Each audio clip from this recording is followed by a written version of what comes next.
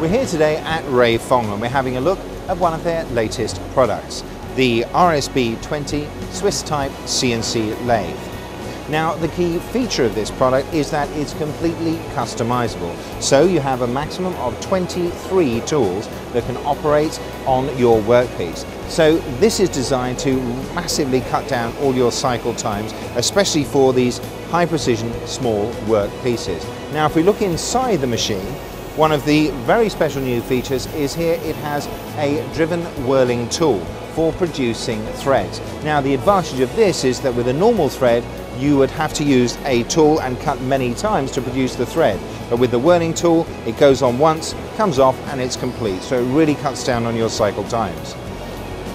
On the front of the machine here we can also see that the tools for back machining are completely customizable. They can be fixed or driven depending on your requirements.